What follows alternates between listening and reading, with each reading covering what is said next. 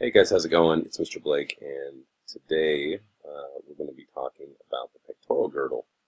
I uh, this should be a pretty short lesson. The pectoral girdle is, while very important, is actually really simple compared to the other parts of the skeleton.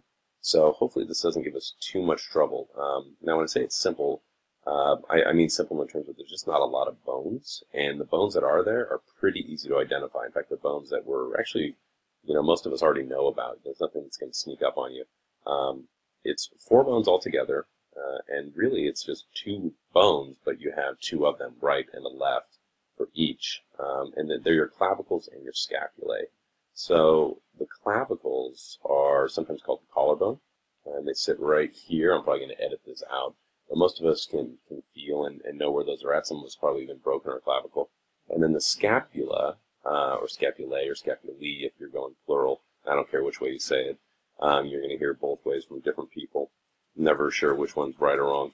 Um, but a scapula, singular, um, is a pretty, you know, pretty obvious discernible bone to pick out of the bunch. So I don't think it should give us too much trouble when we're doing our practicum. Um, combined, uh, it, it's going to comprise our entire pectoral girdle. So if you do get the question, how many bones do you have? uh, in the pectoral girdle. It's a total of four, but really it's just those two bones. You just have them on each side.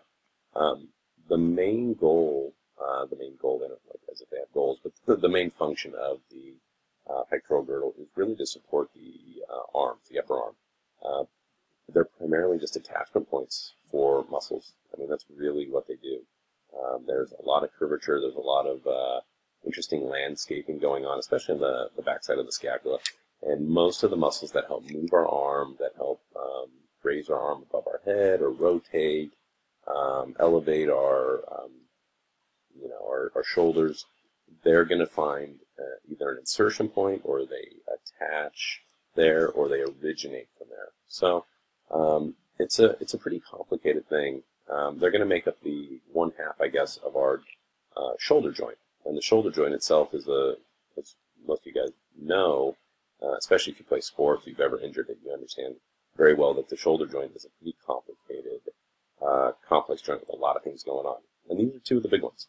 All right, so let's get into it. Let's look at a picture here. And this is what we see when we see the pectoral girdle. Obviously, what we have uh, in this photo is a lot more going on than just the uh, just the pectoral girdle itself. So I'll kind of highlight the areas I think most of us are familiar with what they are. But the clavicle, I'm going to kind of trace this, and you guys know how awful I am at the art end. Uh, one of the things to identify early on when you when you see this um, is that this area right here is a flat area. It, it's going to attach to the manubrium. You can see the manubrium, manubrium, the top portion of the sternum here. Um, it sits flush on this kind of sharp angle. So when you're going through and you're trying to identify right or left clavicle, which is which you definitely have to do, um, you're going to want to kind of try to identify that. Uh, the other thing you're going to look for is this little uh, tubercle down here, and I'll get into that at the end. And it's not labeled on this, but you can see where I kind of made the dip with my pen. There's a little tubercle there, and it faces down, and that's going to be huge when you're orienting. Remember I told you, whenever you're looking at bones, pick out one or two things that can help you for sure identify that you're comfortable with. And it's, you know, it might be different for different people, um, but that you're comfortable with saying, okay, this is always facing this way, or this was always, you know, facing laterally or medially. So for me, this is what I go. It's called the conoid tubercle, and I know that it faces inferior, okay, or faces down. I also know that the lateral edge of the clavicle always goes anteriorly. So the the the clavicle is sort of an S shape. Uh, it's hard to see in this particular image, but I think in a different image you can see it.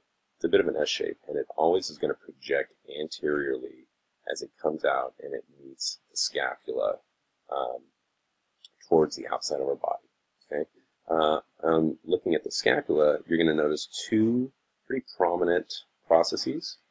Um, the acromion process is going to be the um, superior process right here. And then inferiorly and medial, you have the coracoid process. Okay, so together they create a little space here. Um, and these areas are crucial if you've ever had a rotator cuff injury or you have uh, shoulders that are prone to, and I, am actually one of those people uh, where you know too much exercise um, and too much wear and tear, I can get some shoulder pain. And the reason why is because we call this the subacromial space. And you can see this little gap right here. Okay. Some people just genetically have a smaller space. The acromial process doesn't come up as high. And so all of the muscles and the tendons that go through here, when the shoulder joint rotates, you can see the humerus here, as it rotates through, it can actually um, pinch and impinge those tendons and cause quite a bit of inflammation and pain. So you want to be careful with that. Some people are just built that way. Uh, my whole family, I feel like, is kind of built that way. My sister and mom have both had uh, shoulder surgery. Both are volleyball players. So baseball players, volleyball players, people who uh, do overhead, you know, uh, movements uh, tend to be at a pretty good risk from this. By the way, I'm not sure if you can hear, uh, but I got one of my pugs up here. He's just going to town. Now he's staring at me. He's trying to find a reason to fall asleep, and I think he's got it. He came for the pectoral girdle lecture. Um, so uh, let's look at the scapula. Let's get a uh, let's get a different look here. Let's get a more zoomed in because the scapula's got a little bit more going on. So we can see it here. Uh, let's look on the top right. That's a posterior view. Okay, and so what's probably the first thing that's going to jump out at you that you know you're looking at the posterior side is this big old spine right here. Okay, okay, and this is the literally we call it the spine of the scapula. It's a pretty straightforward name for you. Um, it is continuous with the acromion process. So if you see it, it actually spine actually follows up and over. Okay, and they are part of the same thing. Uh, the coracoid process, which please be careful with that, by the way, this coracoid process sounds a heck of a lot like uh, coronoid, which we've already seen, and you see it again. So you got to keep those straight. This is coracoid process right here. Uh, let me give you this. So we're looking at the lateral view there. Um, and the one thing I want you to note is that when you're trying to identify, same thing, you got to identify right or left, right, for most of these bones. Um, these two should be pretty easy because they're so distinctive in their look and because, you know, they have very different things on different sides. Um, and so what you always need to remember is that this um, glenoid cavity right here, let me see if I can highlight there, the shallow little cavity that makes up the uh, the socket portion of our shoulder joint, which is a ball and socket joint. Uh, your humerus, the upper arm portion, is going to articulate right in with it, um, but it always has to face out because the um, the um, humerus, the head of the humerus, is going to face medial and meet it in there. So whenever you're looking, so if I'm looking at the one on the top left here, for example, if I'm looking at that scapula, um, and I'm, I pick this scapula up and I'm like, okay, is it right or left? Well, I know that the glenoid cavity and the processes are on the lateral side. And if I know because the spine is back here, right, if I know that I'm looking at the posterior end, and I know that this is the lateral edge, this must be the right scapula, okay? So the glenoid cavity and your processes are always on the lateral end, okay? And the way that you know which one's medial or lateral is you got to identify are you looking at the anterior or posterior. So if I were looking at this bottom image down here, it would be a lot more difficult because I don't have that uh, landmark, that spine, to sort of uh, get my bearings. So I would want to identify, okay, that's the back. That means this must be the lateral end here. Okay, so this is all the same. Uh, all three images are of your right scapula, you can see here. All right, so what do you specifically need to know? And you can consult your list. Um, I would just probably suggest, and I'm not sure what's on there right now, I'm not actually looking at it, but I think for sure um, the supraspinous and infraspinous fossa, and you'll see when we get to muscles, guys, these areas here are just like hotbeds for muscle attachment. All kind. I mean, we have the supraspinatus, infraspinatus muscle. So understanding, and oh, oh my gosh, the acromion and coracoid processes, just muscles and tendons going everywhere. So uh, you know, like I said, this is kind of a nice one because it, it gets you a lot of mileage without having to work too hard. You're going to learn a lot of features that will come in handy, not only in this unit, but uh, as soon as we start learning uh, the location of some of these muscles. And um, it's pretty easy. You know, it's pretty easy to spot. So, yeah, uh, in terms of under knowing the names of the borders, I'm not really concerned. I really want spine, the fossas above and below, and the two processes, and then the glenoid cavity. So when you're going through this, um, on it should be on Wednesday, I think. Oh, great! Now I just ruined this video. I'm never going to show it again unless it's on a Tuesday. Um, but if you are looking through um, those two, you're only going to take two, you know, two pictures. You're going to have a scapula and a, and I'll probably throw maybe more than one at you just so you can help, you know, start working on how do you know right or left, get your own little ways. But um, I think the main things would be to get pictures from different angles like this, and then that way that'll help you get some, that'll help you get these images, or have some, have someone hold them up too.